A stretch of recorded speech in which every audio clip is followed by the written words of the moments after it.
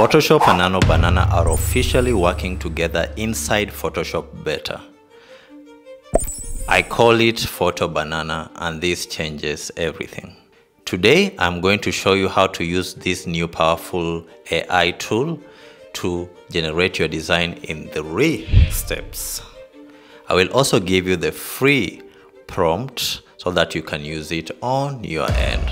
So first you need to create a new simple file. Please make it 2048 pixels by 2048 pixels so the design can be clear and crispy, all right? Second step is to add elements to your design. Over here, I have a picture of the gentleman and a logo.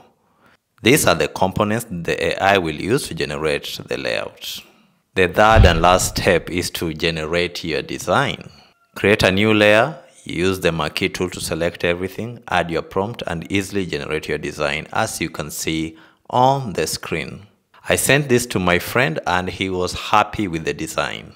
I'm still using this new powerful tool so expect more videos. Get the free prompt on ramaken.gumroad.com prompt box so that you can use it on your end. AI will not replace you. A person using AI will definitely replace you. Thank you and see you on the next one. Bye bye. Bye.